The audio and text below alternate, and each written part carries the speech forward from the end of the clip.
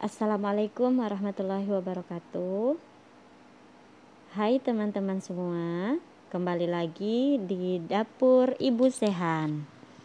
Kali ini Ibu Sehan mau berbagi resep bagaimana cara membuat risoles yang enak. Mulai dari kulitnya sampai ke isi risoles dengan isian sayuran. Ini rasanya enak banget ya, teman-teman. Yuk kita masak sama-sama.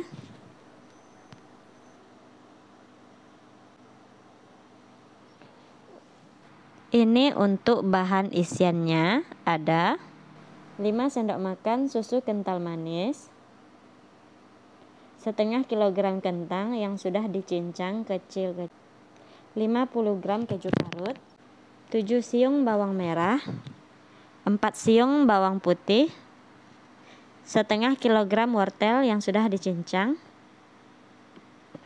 2 sendok teh garam halus, 2 sendok teh merica bubuk, 1 sendok teh gula pasir, 2 sendok teh roiko rasa ayam, 600 ml air, 4 batang daun bawang, 5 batang seledri, dan sedikit minyak untuk menumis. Selanjutnya, nyalakan api kompor masukkan sedikit minyak kalau minyaknya sudah panas masukkan bawang merah dan bawang putih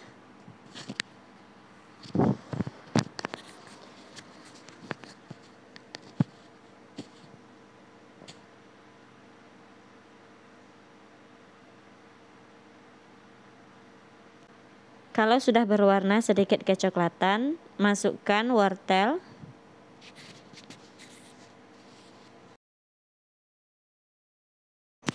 Oh iya, buat teman-teman semua, jangan lupa subscribe, like dan komen ya, Tuangkan supaya air putih selalu semuanya. dapat notifikasi resep terbaru dari Ibu Sehan. Jangan lupa ya. Tutup supaya wortel cepat empuk. Sesekali diaduk. Kalau sudah setengah menyusut seperti ini airnya, masukkan kentang.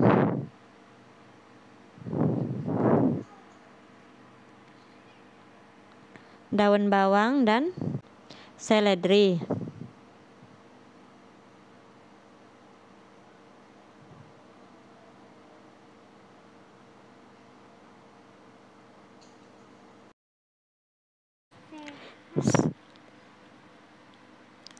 Setelah airnya sisa sedikit seperti ini,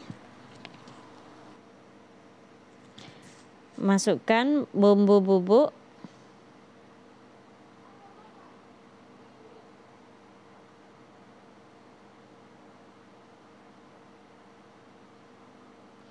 Keju tambahkan semua susu kental manis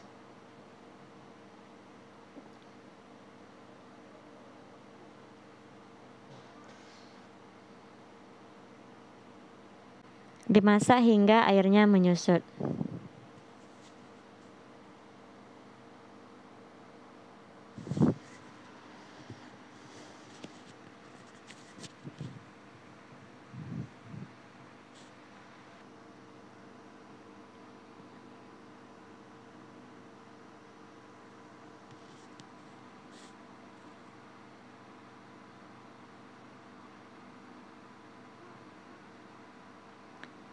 Ini airnya sudah menyusut ya.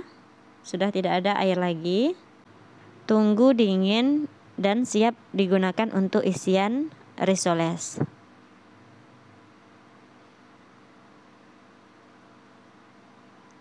Ini untuk bahan kulit risoles. Di sini ada 500 gram tepung terigu segitiga biru, 1300 ml air putih, tepung panir secukupnya, 1 sendok teh Royco rasa ayam. 1 sendok teh garam halus. 1 butir telur. Sedikit margarin untuk olesan teflon. 50 gram tepung tapioka. 1 sendok makan minyak goreng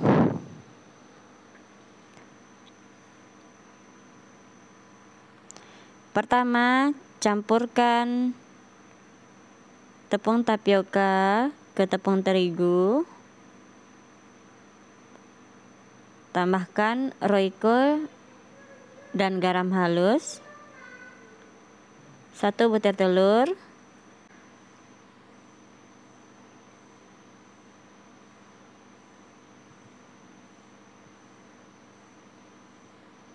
Tambahkan air.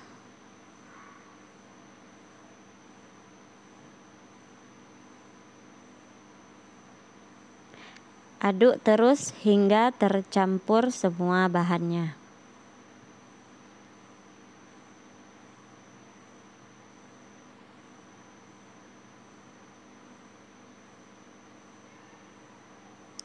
Kemudian tambahkan satu sendok makan minyak goreng.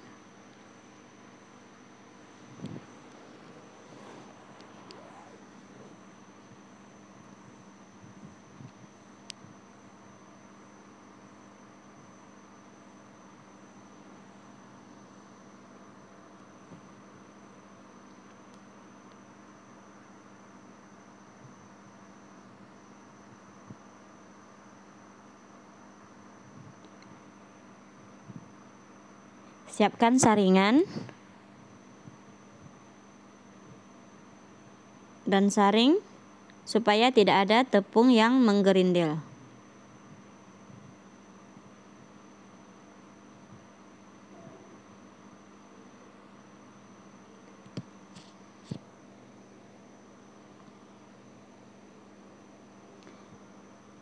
Buat teman-teman semua, jangan lupa subscribe, like, dan komen ya, supaya dapat notifikasi resep terbaru dari Ibu Sehan.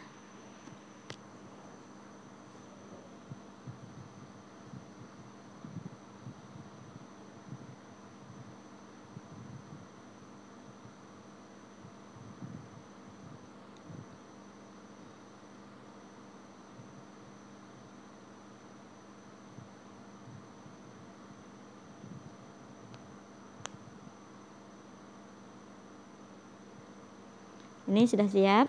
Hidupkan kompor. Tunggu teflonnya sedikit panas baru masukkan margarin.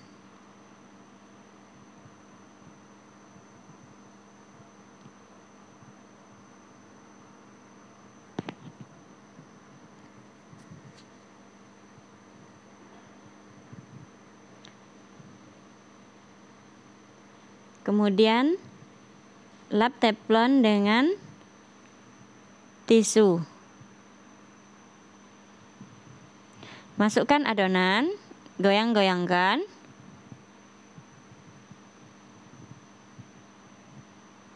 Ini untuk setiap satu kulit risoles kurang lebih memakan waktu sekitar 4 menit ya dengan api yang kecil.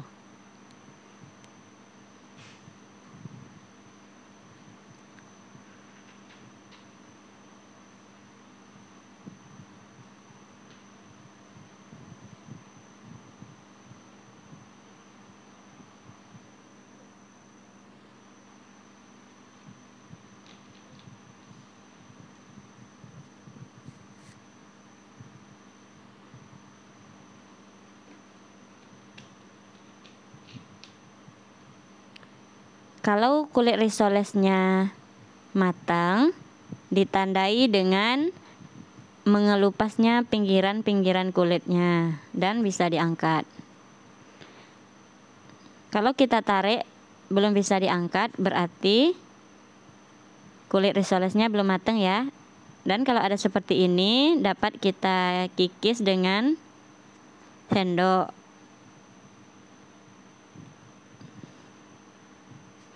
Lakukan semuanya sampai adonan kulit risolesnya selesai.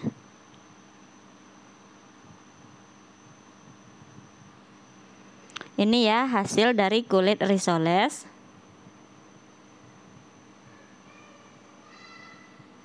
Lentur. Dan kalau digulung seperti ini tidak sobek.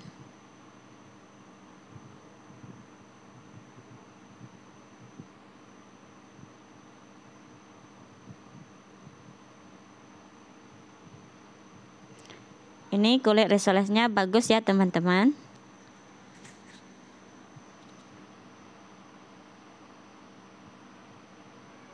Ini untuk bahan pelapisannya ada 200 gram tepung terigu segitiga biru, sedikit roiko, dan air secukupnya.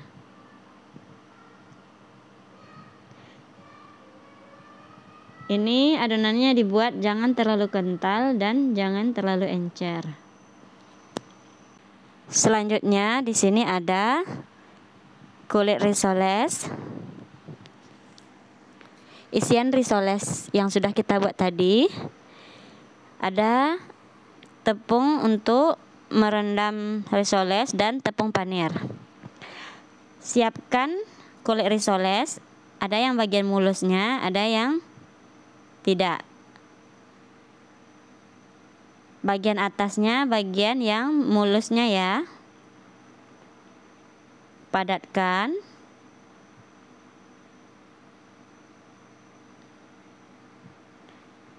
Kalau ada kulit risolesnya yang terlipat seperti ini, betulkan dulu.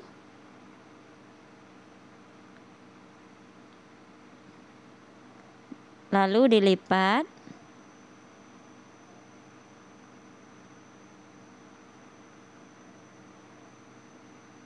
Dan gulung. Seperti ini ya. Ambil kulit risoles dan letakkan di bagian atasnya bagian kulit yang mulus, beri isian, padatkan dan lipatkan. Kemudian digulung-gulung. Lakukan semuanya sampai selesai.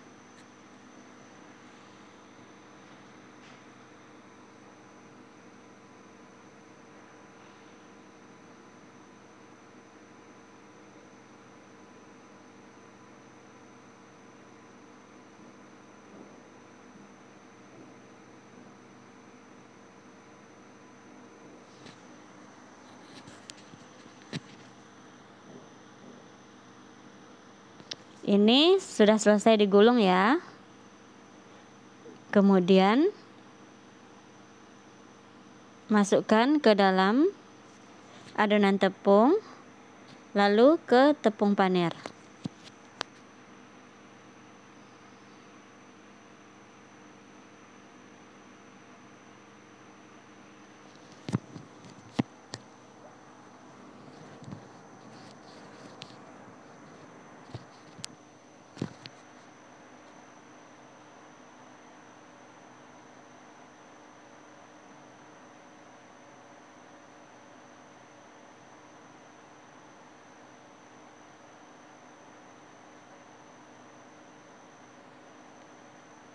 Lanjutkan.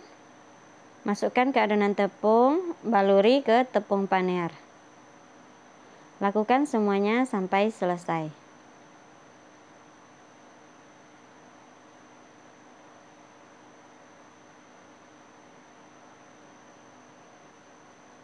Ini ya hasilnya dapat sekitaran 40 risoles. Sebelum kita goreng, kita simpan terlebih dahulu di dalam kulkas minimal 30 menit.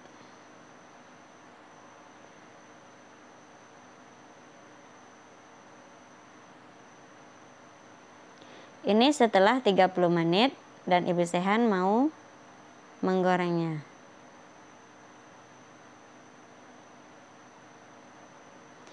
ini apinya sedang cenderung kecil ya.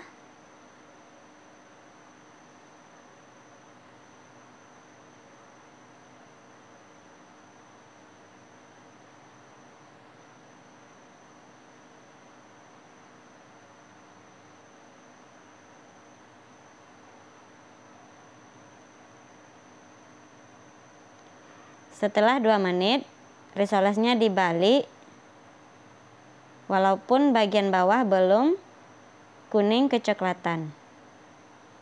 Hal ini dilakukan untuk menghindari pecah pada kulit risoles.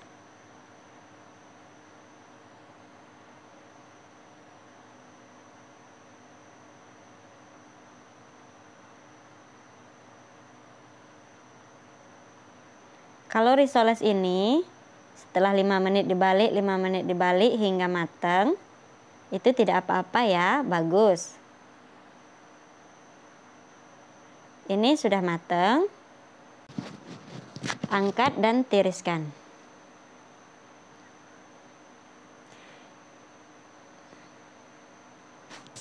Nah, ini dia risoles yang enak banget. Teman-teman harus coba ya. Terima kasih sudah menonton video Ibu Sehan dan sampai jumpa lagi di video selanjutnya. Terima kasih.